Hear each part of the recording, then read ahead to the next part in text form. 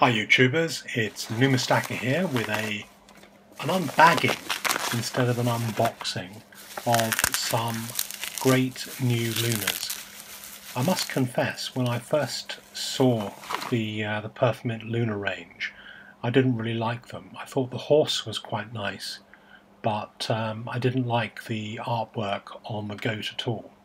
But since doing a little bit more research, I've discovered the nicest design of all is the dragon. So uh, I've decided to build up um, every size of dragon, at least the, the ones that are fairly affordable.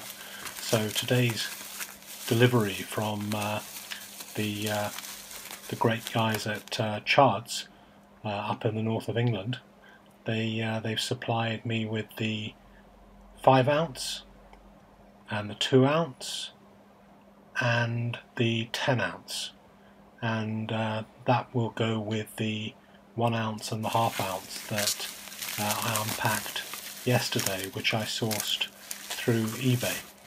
So here's the 10 ounce which is great which uh, I've already got the 10 ounce um, of the horse and the goat and uh, this is much nicer than both of them.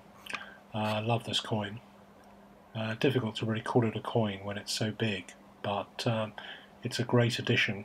And there's a uh, purpose-built box arriving sometime this week, uh, which I'll unbox, haha, from Germany.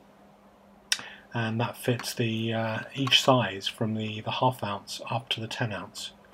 Um, there is another box which I haven't been able to source yet, which I've seen on another YouTube movie, which uh, also has the half kilo please comment and subscribe.